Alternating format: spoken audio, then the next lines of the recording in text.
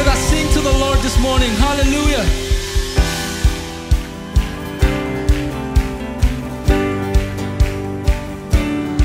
Here we go.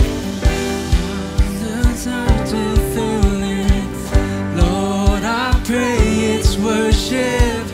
Empty words I can't afford. I'm not chasing feelings. Not why I'm singing. You're the reason for my song.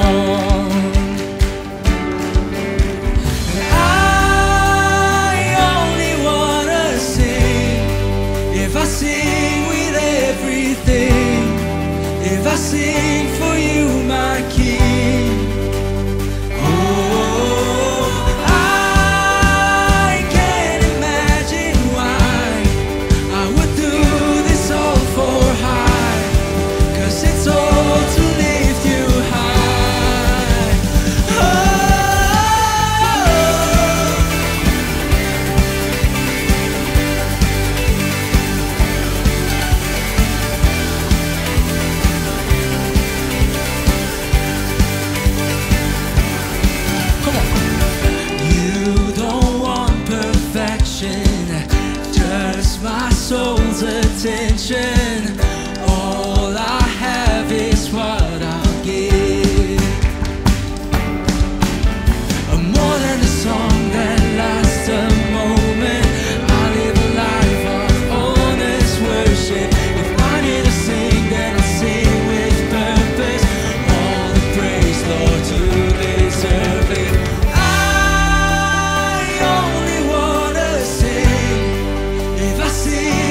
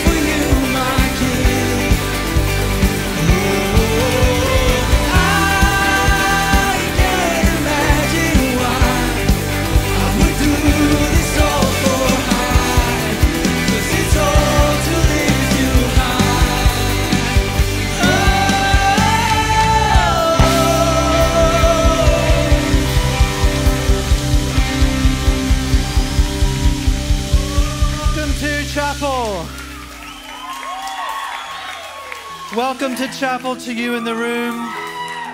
You are ready. Apparently, you only want to sing. I think you've come to the right place. And to those watching online as well, welcome to chapel, which where we gather like this every week. But today is a little bit special because today is our songwriters chapel. It's our originals chapel. Many of whom are actually playing and leading us in worship this morning with songs that they have written. And I can personally tell you that this team have been very diligent. They've been rehearsing, they've been writing, they've been crafting, and they have been believing in great anticipation for today.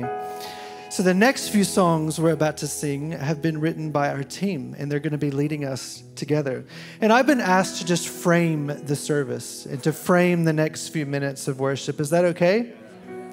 You know, since the time of Miriam and Moses and Moses in Exodus 15, uh, writers have been giving musical expression of praise to God through song, through song and poetry, beginning with the patron worship leaders or songwriters, if you will, of Miriam and Moses. And right throughout the centuries, writers have been putting expressions of praise and worship and thanksgiving to song.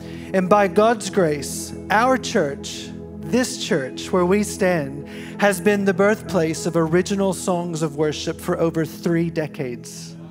Praise God. Many of you have been impacted by the music that's been written from this house. And I would say my own journey as a worshiper has been to the soundtrack of the music composed from writers in our own community of faith. You know, it's only appropriate that we've honored the songwriters that are leading us with their music, but to also honor one of our church's most faithful and longest serving songwriters who continues to mentor a new generation of songwriters. Through his coaching and his masterful guidance as they curate music and poetry, we all love and appreciate Ray Badham.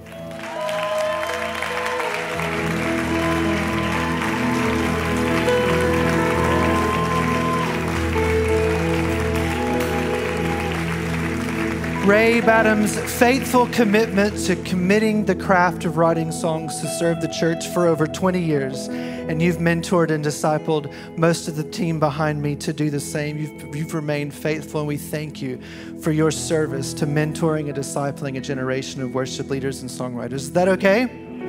So, as the team prepare to carry on and lead us in their songs, may I offer a call to worship? Is that okay? From Psalm 100. Shout for joy to the Lord, all the earth.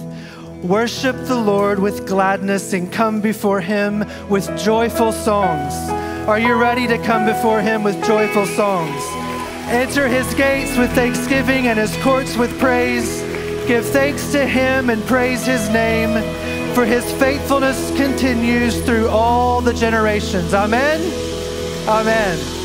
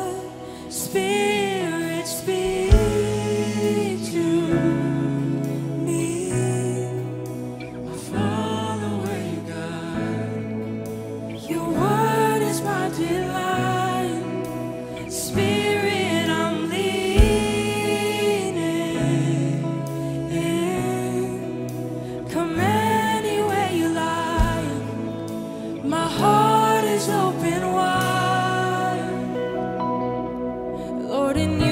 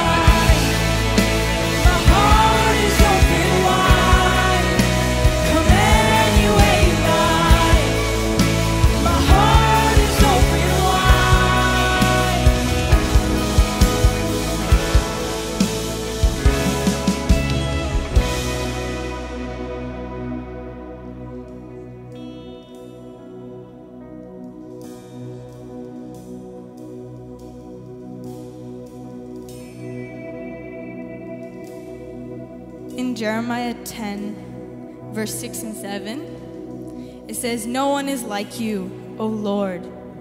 You are great. Your name is mighty in power. Who should not revere you?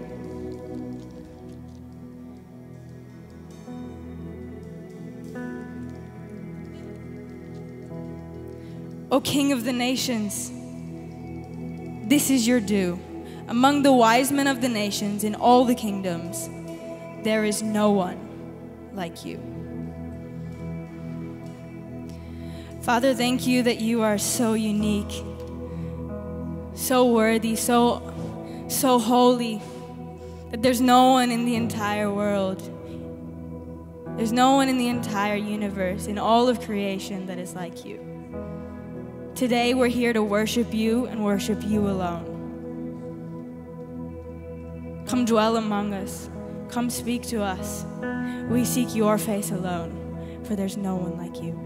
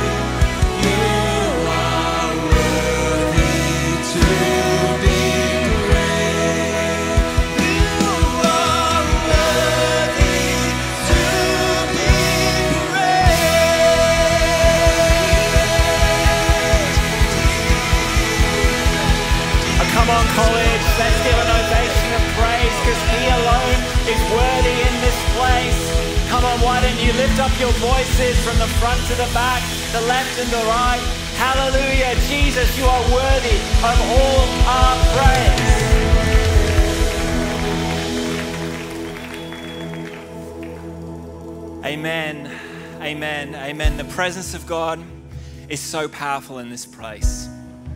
His presence is powerful. And I had on my heart this morning Psalm 145, verse 3. Great is the Lord and most worthy of praise. His greatness no one can fathom. One generation will commend your works to another. And this, this verse really resonated with my spirit. One generation will commend your works to another. And, college, there is a generation that had faith for us. There is a generation in the past that had faith for you, for me, for this college, for the church. And we are, rested, we, we are standing on the faith of those who have gone before us. But we also are a generation of faith.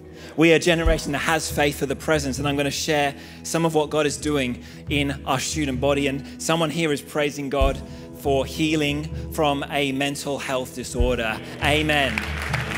Our God is our healer. We also have someone uh, praising God for our incredible songwriting community. So, can we just take a moment and thank the team?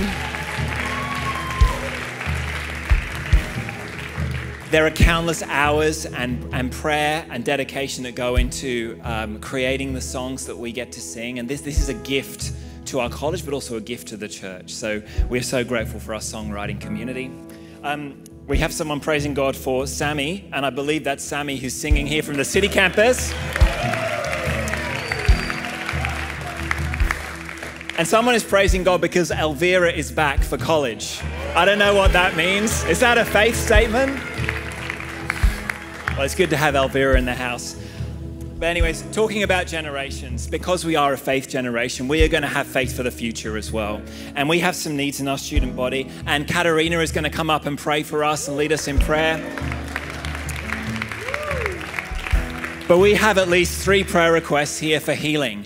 And we also have someone celebrating healing from mental health today. So we're going to have faith for healing in this place. We have um, Daniel is pre- uh, believing God for wisdom. Um, so we're going to believe with Daniel. And who needs a bit of wisdom in this season? I know I do. Um, and then we're believing uh, for the favor of God. So, Katarina, why don't you lead us in prayer? That'll be awesome. Cool. Let's lift our hands and pray together. Jesus. Thank you, Lord, that, that you are here in our midst. Thank you that you see every person and you love every person and that you know what is truly going on. And Lord, we thank you that that you died for, for our on our behalf. And on the cross you took upon yourself every sickness, every disease, so that we may be healed and we may be whole. So we just speak over every person that needs healing and we just declare we speak forth healing god we, we pray that every sickness has to leave because they have no right to be in your beloved's body. Thank you, Lord. and lord we thank you that we pray that we'll be, we'll be a college body that is discerning and that is receptive to the guidance of the holy spirit. We pray that you will that you will lead us and that you will guide us and we will have hearts that is quick to understand eyes to see and ears to hear what you are telling us and where you're going. We pray for open doors we pray that you will open the right doors and you'll close the wrong doors god and Lord, we pray for favor. We pray that we will be a college body that is reliant on your favor and not our capabilities or our talents, God, but that we will be marked by your favor, God. So before we see before we see the breakthroughs, God, we give you all the glory and we give you all the honor and we give you back all these prayer requests, God, and we and we leave them in your loving and capable hands. In Jesus' name we pray. Amen. Amen. Amen. Amen. Thank you, Katarina. You know, it is powerful when we put words to our faith. It's powerful when we put scripture to what we're believing for. And so, as a college, we are a college of faith, and we are going to be, be believing for all of these needs to be answered in Jesus' name. Amen. Amen. Well, every chapel is special. Uh, today was very special. Every chapel is special. And um, we have an incredible man of God bringing the word today. And I had the absolute uh, pleasure of serving alongside this man uh, when I was in college, back in, this would have been 2007. It was in, when I was in my third year at college. And both of us were serving at our Southwest campus. He was a wildlife leader. Um, and so we have the great honor and privilege of having David Ware bringing the word today. And so you're already standing, but can we honor the man and honor the word of God? Amen.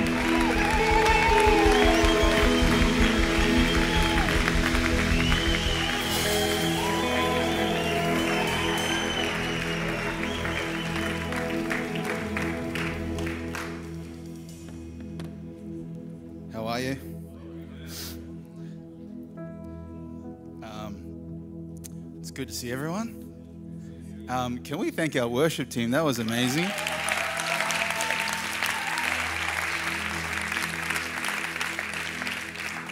Uh, first things first, I just felt in worship, and I was talking to someone before worship, and I just wanted to pray for this because I don't know if there are many people, but I felt in worship that this might have been, this might be kind of a thread through this group of people. But, and I am so okay. Like, don't, if this is not you, don't feel like sorry for me if none of you are dealing with this. I'm okay. I'm good. I'm going to survive another day. Um, but is there anybody who's been having like crazy dreams at night? Like, like out of the ordinary, like wildly, like this never usually happens to me, crazy dreams. Maybe we need some keys to make this not awkward. Because this definitely wasn't on the cards. Um, if you could just lift your hands up high, if that's you. And do you want to come and pray for this? Are you, are you cleared for platform? Okay. I think so. I think so. Yeah, I don't exactly know what to pray, but I'm in that I'm in that boat for sure, and I do believe we are living in remarkable days. I don't know why I'm having dreams. I don't know why you're having dreams, but I'm just going to commit our, ourselves afresh to God, and that He'd reveal Himself to us in our sleep, and that we would respond to Him in a mighty way. So I'll, I'll pray that. If, if if that is you, why don't you stretch your hands out, and if you are near someone, why don't you why don't you lay hands or, or reach hands towards them? Lord, I thank you for what you're doing in this time. If I'm completely honest, I don't understand all of it, God, but I know you are in control. Just as we sang that song from our team, we know we can rest assured that you're in control. God, you brought us here, some of us across, Lord, incredible situations to miraculously place our feet on solid ground here. And we are aware, God, there are places in the world that are still oppressed and it's not legal to say your name in public but here we are singing your name that we that we write about that we dream about. And god you are giving some of us remarkable dreams and visions. God and we don't need to understand it. We can just know that you are moving amongst us and we trust what you're doing in us god. I pray that we would respond in a way that glorifies you. God you give us pictures of how to put words thoughts actions to what you call us to do. God and we commit ourselves afresh to you again Lord, we cast out clout, we cast out distraction, and we pray you would have your way amongst us in a mighty way. I pray even today over the word, God, that the words would be spoken that would resonate with what you're already speaking to us. So we commit these moments to you, we commit our dreams to you, work in them in a mighty way. In Jesus' mighty name, amen. Amen. All right. All right, God, I got the crazy stuff out of the way. Um, you may be seated. Uh, thank you, team. You guys can not go too far, but you guys can chill for a bit. Uh, I'm not here for a long time, um, just a good time. Is that a song? I'm not even sure about that, whatever that means. Um, but I was asked to speak on, on uh, you know, today for this particular chapel, and I love it. I get to write songs, and I've written songs with some of you here today, and um, I've gotten to lead worship at our church. Um, but specifically, I don't necessarily speak all that often. I, um, I wouldn't consider myself a preacher by any stretch of the means. It's kind of like saying, because you're good at go karting, then you can race in the F1. Like, I feel like there takes a life dedication and a lot of study and a lot of wisdom and a lot of download from the Holy Spirit to be able to be called that. Maybe I'm wrong. That's just how I see it. Uh, so today, I'm just Big Brother Dave. And I said yes to speaking because I specifically thought that I had a word and a few words, a couple of ideas that I wanted to share with us today. Um, I understand that times in society, in life, individually, amongst friends, amongst family, like it has always been, there's been turbulence and, and disruptive seasons. And I think in a lot of our spaces and a lot of the people that we know as Christians, we have the ability to walk into spaces walk into our own situations and declare the truth of God over those things. Um, so, to kind of give you a, bit of a quick brief on how I got to sit up here today, uh, I was born in a nation called Fiji. Uh, I was quickly whisked away to New Zealand where I became like a teenager. Uh, and then I spent a lot of years between uh, Australia and, and Auckland up until I was about 16. And then, um, which I guess is only like four years, but there was, there was a lot that went on. Um, but my testimony is simply this like, I grew up in a Christian household, but didn't know God for myself. I grew up in a pretty poor neighborhood, high crime, lower socioeconomic, so there was a lot of, you know, abuse around me and drug use and criminal activity. And so that's kind of the framework that I grew up in. That was normal for me. And so, lo and behold, I was 11 years old, got into a bunch of trouble with the police. I broke into some houses and uh, uh, and sorry, one house. I'm just, you know, you got to exaggerate a little bit. I, I, was, I was like breaking into house. I broke into one house, drank one beer. Um, but I did get busted for selling cigarettes at school as like a, an 11 year old, right? Which I actually didn't know. You could actually, that's like, that's a criminal thing. Like, and I was like, whoa. So the police took me away, and instead of arresting me or putting me in some sort of delinquent program, they put me through this other program called TYLA, which is, stands for Turn Your Life Around. Um, and from there, I got to be part of this program with the police officers. Shout out Hayden. Um, and it was crazy because as an 11, 12 year old, I went on these boot camps and we had, was mandatory camps we had to go on and they taught us how to do push-ups and they taught us how to use words of affirmation. And there was one particular session that I had with the guy who started it and ran it. His name is Constable Brock Davis. And we're sitting there and he's like, we're all sitting in a circle and he's like, you know, I've traveled the world, guys. In fact, I know many languages. And I grew up a Pentecostal, right? So this was already like sounding a little bit like precipitizing, like he's trying to whatever. And so, and so I'm like sitting there with my mates, and he's like, So I just want to speak to you all and encourage you all in different languages. Is that all right? And then he starts, he starts, these 11, 12 year old kids. And I was like, I know what you're doing. My dad's a Pentecostal pastor. so we moved to Australia. Um, you know, and over the years, I still kind of went down this rabbit hole of just making bad decisions, having bad friends, being in poor circumstances until I came to a point when I was about 18 years old.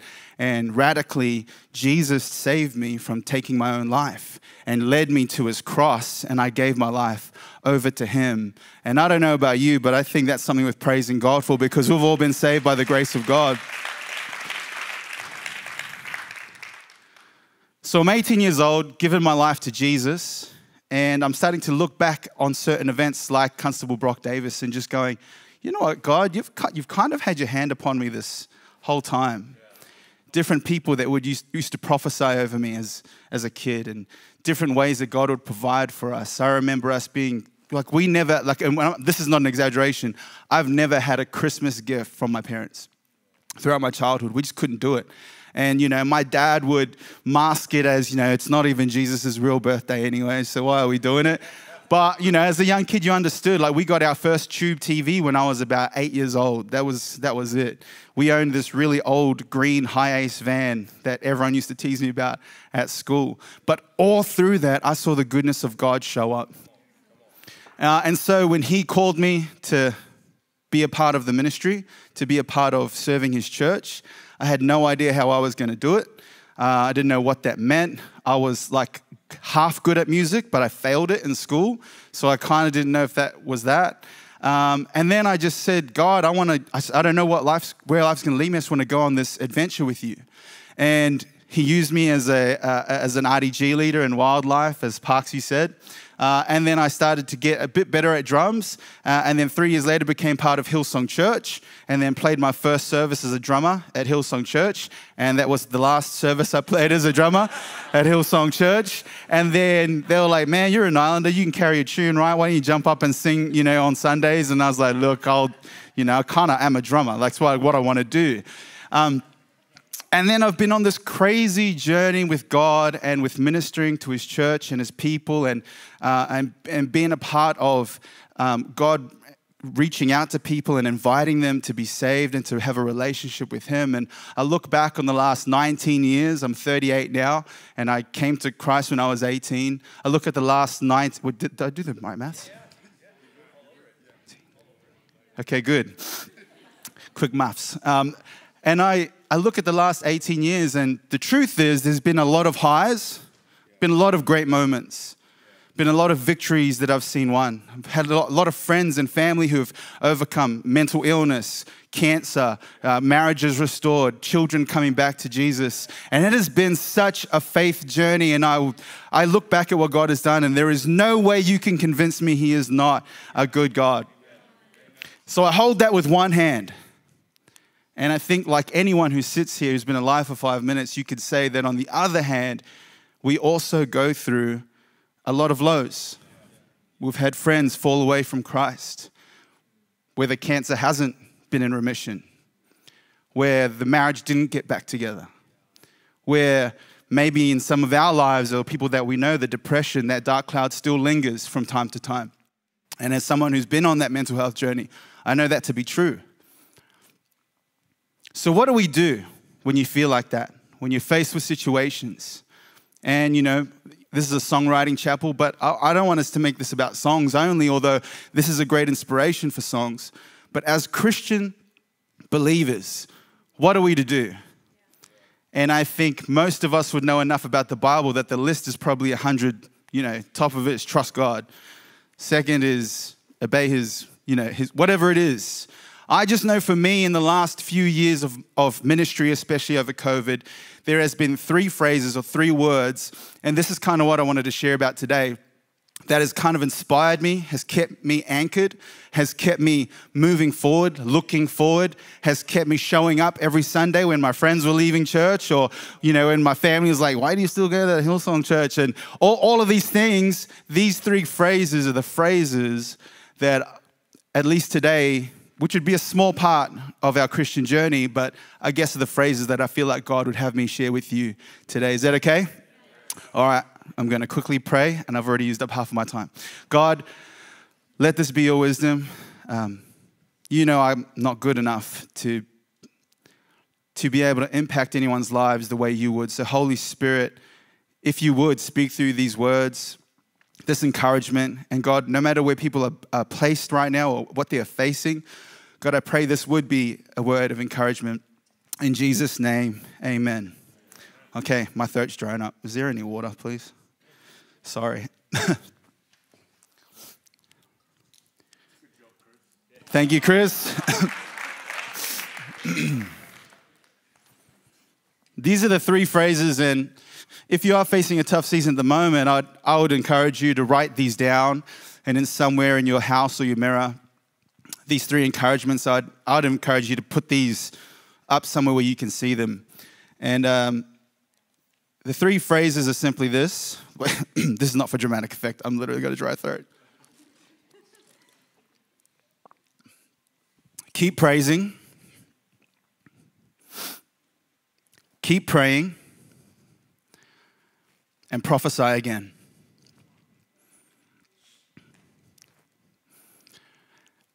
It helps that they're all P's because it kind of makes it memorable. But let's dig deep into, I, I feel why God put this on my heart and would have me share this with you guys today. The first thing is praise. I feel like the first thing the devil wants to rob me of, or my humanity would like to rob me of, or whatever it is, my circumstance, would want to disconnect me from my God, from his presence. To see God how he truly is and who he truly is. The truth is, and we've all learned this, but praise gives us access to the presence of God. It's insane to me that over the years, sorry, not insane, I do look at it and think it's a bit weird, but I'm, I'm one of those street guys that kind of has a bit of non filter. But you look at the Old Testament, and the way that you would access the presence of God was through praise, was through thanksgiving.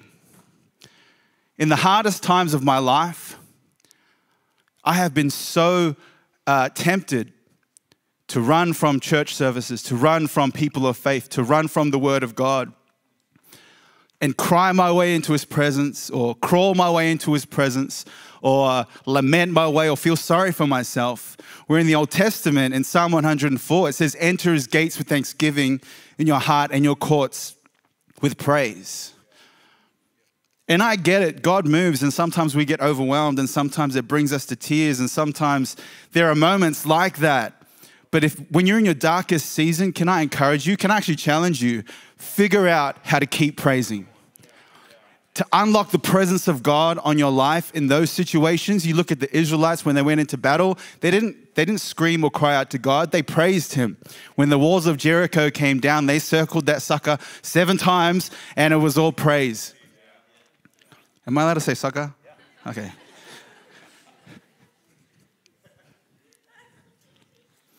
In Psalm uh, 22 th- 3, it says this that God inhabits the praises of his people. There's something about it. When we, in an authentic way, put God where he truly belongs in our life, whether you're failing or not, whether your circumstances are dire or not, when we say, God, you are holy, you are worthy, you are good, you are the creator of the universe, something about that just goes to him, ah, I need to be close to that. They see me for who I truly am, and so I am going to invade that space and be in that place with them. I wonder what storms we're facing where we've resorted to panicking rather than praising. I wonder what situations you're in right now that is causing you to panic. But maybe you should praise Him. The second thing is prayer. I tried to keep this concise, but I, I just couldn't. Prayer invites the voice and the peace of God. What do I mean by that? Uh, in in uh, staff meeting yesterday, we sang a song. I don't even know what the name of the song is, but it was um, "I sought the Lord, and He and He heard." Eh, That's the name of it. That's right. And uh, it was who wrote it? Uh, that's right. Yeah. But it says, I cried out to the Lord and he answered me. And if there's any recurring theme in my story, I would say it would be that. When I sought the Lord, he heard and he answered. It invites his voice, this communication, this, this continual, uh, you know, spiritual discipline that we have to pray actually invites the voice of God into our lives. How does it invite the peace of God? One of my favorite scriptures growing up, it was hanging on the wall. And every time we did memory verse or Bible study with my family, and they were like, all right, memory verse of the day, it was the only one on the wall. So it was the one that I would always say. And it'd be like, you know, I'm 10 years old. So I'm like, ah, Philippians, Philippians 4 6. But it says this don't worry about anything. Instead, pray about everything. Tell God what you need. Thank Him for all that He's done. And verse 7 says, Then you will experience God's peace, which exceeds anything we can understand. His peace will guard your hearts and his mind and minds as you live in Christ Jesus. I always, you know, just something helpful here, something practical when we're facing seasons where we don't know what's ahead or we feel helpless or we don't know what songs to write because we in ourselves are not are in a good place or we're meant to preach and we don't know what to preach about or we're meant to, you know, witness to people but we don't know what to witness about because of the season of life that we're in. I always go to this and say, God, I don't know everything that's going to happen. I don't know what's I don't know I don't know what I'm meant to be doing, but I'm going to praise you, which is what it says, you know. Tell God what you need. Don't forget to thank him for his answers. And then the peace of God, which exceeds anything we can understand. His peace will guard your hearts and minds as you live in Christ Jesus. That communication with God invites peace. It invites peace and he answers prayers. What have we conceded to pressure that we should have committed to prayer? What pressures are you facing that even though you might not see an answer right now, you should be bringing to the feet of Jesus? And then the last thing, which is prophesy, prophecy. Prophesy again. Um, I say again because I've been in those situations where you've prayed for healing, you've prophesied healing, and it hasn't come to pass. If there's one thing I've learned over the last 19 years is there is power in prophesying. There is power in prophesying again. I'm not a biblical scholar or, you know, most of you probably could teach me something or two about the prophetic and about the Bible. But for me, the power of prophecy is in aligning my life to the Word of God. If you don't know what to prophesy over your life or the life of other people, figuring out what God's will is through His Word and speaking it over your life and over people's lives changes something. And even when you don't see it, we prophesy again. We prophesy again. And what I love about prophecy and prophesying is it is accessible to all of us. Um, who loves Acts 2? I love Acts 2. And in verse 17, it says, In those last days, God says, I'll pour my spirit out on all people. Your young, your, your sons and daughters will prophesy, your young men will see visions, your old men will dream dreams. Even on my servants, both men and women, will pour out my spirit on those days, and they will prophesy. I will show wonders in the heavens above and signs on the earth below. I love that. And then it ends in verse 21 by saying, And everyone who calls on the name of the Lord shall be saved. I'm going to invite the team back up. And we're going to sing for a couple of minutes. But I wanted to drive this point home. And if you wanted like a, a title, I'm not really good at titles, but if you wanted something to put at the top of your page, I understand that the theme is I've got faith for this. So my title would be I've got faith for this, but what are we saying? What are we saying? The common thread with those three P's for me is that for the most part, those all come from our lips. There's a power in confession. There is a power in what comes from the lips of our mouth. We can have a thousand things going on in our mind. We can have a thousand things going on in our spirit and our heart. But what comes out of our lips is the architecture and the foundation of how life is played out within us and around us. In the Bible, it says this it says, oh, I scrolled up and said down. In Proverbs 18:21, death and life are in the power of the tongue, and those who love it will eat its fruit. And I love that when people are invited to salvation in Romans, they are said to confess with your mouth with Jesus Christ as Lord, and they will be saved. What are we saying? What are we saying? Are we walking into situations going, God, I know you're good for this? Are we walking into songwriting rooms saying, God, I know there's a great song here. Inspire us to write. What do our church need to be singing? That's why I love songwriting because you're putting prayers and prophecy into the mouths of people that want to praise Him. So, what are we saying? Let's keep praising. Let's keep praying. And let's prophesy again. Can we stand to our feet with the last 10 seconds that I have? because we're going to sing this. And I don't know who needs to sing this. We'll be singing it a lot in church, so I'm sorry if there's a bit of fatigue around this song. But I believe to kickstart that spirit, that attitude of I'm to keep praising, I'm to keep praying, I'm to keep prophesying, is maybe at some point today you need to get alone with God. Maybe sometime tomorrow, the first thing you do when you get up is to use your lips and your mouth to speak God's will and His truth and His goodness over your life. I don't know who needs to sing this. I sing it on the daily. It's simply this Come on, my soul. Don't you get shy on me. Lift up your song because you've got a lion inside of those lungs. So get up and praise the Lord. Get up and praise the Lord. Can we keep praising Him? Can we keep prophesying? Can we keep praying and inviting the voice of God and the peace of God into our lives? There's a breakthrough around the corner for so many of us. So keep praising, keep praying, keep prophesying, keep praising, keep praying, keep prophesying. Come on, let's sing that out really quickly.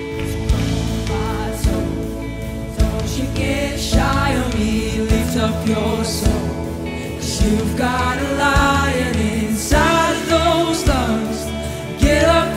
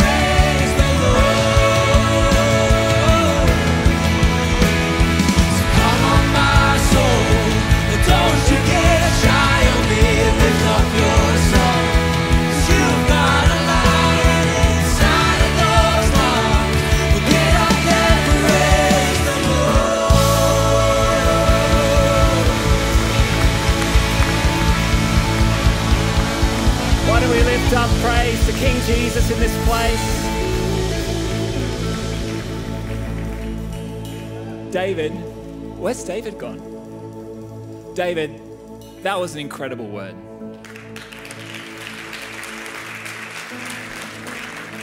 And you are prophetic. You are a prophetic speaker. And I love what you finished with because, yes, prophecy is on all of us. But even what you shared at the beginning, thank you for your obedience. The, dream, the dreams thing was a thing. And so we've got a lot to reflect on as a college community, a lot to ponder. And David, thanks again. Can we thank David one more time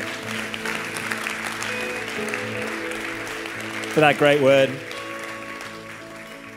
Welcome to autumn, ladies and gentlemen. It's hoodie season again. Um, I'll, I'll talk about the hoodie in a second, but um, uh, tomorrow at our Hills Chapel, we are going to continue with this creative focus, and actually, we're going to be praying for creativity. Um, we're going to be praying for more original songs. We're going to be um, dedicating our, um, and believing for our creative students. And at the city, we've got a community picnic happening. So bring your hoodie tomorrow if it's outside for our community um, picnic. And then, um, right after chapel today, in this room, uh, we are going to be running a next steps session, which some of you know about already. Um, but this is for anybody who is heading into a new award, finishing uh, your current award, and you need more information on visa, um, on what the next season looks like. So we're going to be running it in here, and I know it's lunchtime, so we are providing carbohydrates uh, for everybody. So right after chapel, stick around. Um, we'll be bringing snacks to this session. It should only be. It's only going to be about 20 minutes. Is that right, Katie? 20 minutes. So uh, that's the plan for this afternoon. Um, and last thing is next week is our college open day. And uh, we have Lucinda Dooley bringing the word next week, which um, is going to be incredible. And so um, I just want to say a big thank you to, um, to everyone who has invited their friends. Invited people from church. Um, we had a bunch of people RSVP across the weekend, which was wonderful. And don't forget, if you bring someone on open day, you get to have one of these hoodies just in time for autumn. Um, does anyone want this hoodie? Like right now? Come next week and bring a friend, I'll give it to you. So, anyways, I'm going to pray and then. And thank you, Katie Dodson. Amazing. Team night tonight for all of our creative students at the Hills, and tomorrow night at the City campus, we also have team night. So that'll be good. I'm going to pray, and then maybe we'll go out with a short song. Misty, no? Amazing. Okay. Father, we thank you uh, for your presence in this place. Thank you for the word today. Father God, I pray that we would take on board praising, Lord, we would take on board prayer and the challenge to prophesy. Father God, I pray that we will continue to speak faith in our day to day. Father God, we thank you for this week. I pray that you will continue to do miracles um, in our college body. Father, we thank you for all you have done today, Lord. And pr- we're praying for a great day in classes, a great week, and a great weekend in your house. In the name of Jesus, amen, amen, amen. Be blessed, college. Thank you, Originals team. Let's go.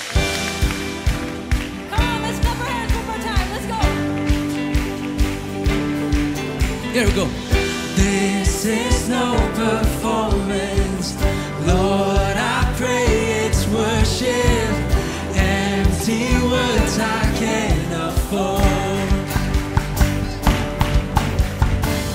I'm not chasing